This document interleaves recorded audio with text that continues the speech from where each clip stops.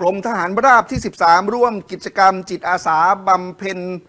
สาธารณประโยชน์เนื่องในโอกาสวันเฉลิมพระชนมพรรษา สมเด็จพระนางเจ้าสุทธิดา พัทรสุธาพิมลลักษณ์ที่วัดประชาชุมพลพัฒนารามตำบลหมากแข้งอำเภอเมืองอุดรธานี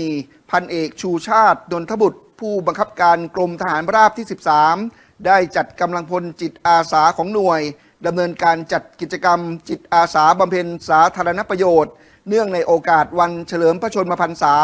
สมเด็จพระนางเจ้าสุทธิดา พัชรสุธาพิมลรักษ์พระบรมราชินี ครบ 46 พรรษา 3 มิถุนายน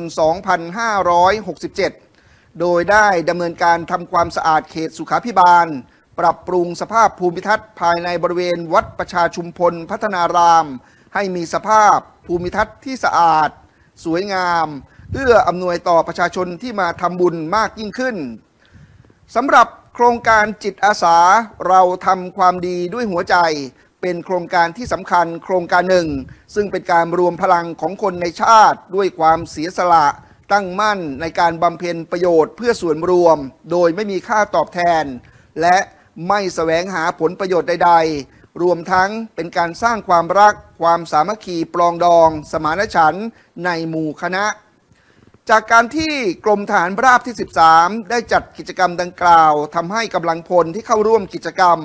มีความรู้สึกสำนึกในพระมหากรุณาธิคุณของสมเด็จพระนางเจ้า สุทธิดาพัชรสุธาพิมลรักษ์พระบรมราชินีที่พระองค์ทรงมีต่อประเทศชาติ และประสบนิกรชาวไทยนานับประการ และทำให้วัดมีสภาพภูมิทัศน์ที่สะอาด สวยงามมากยิ่งขึ้น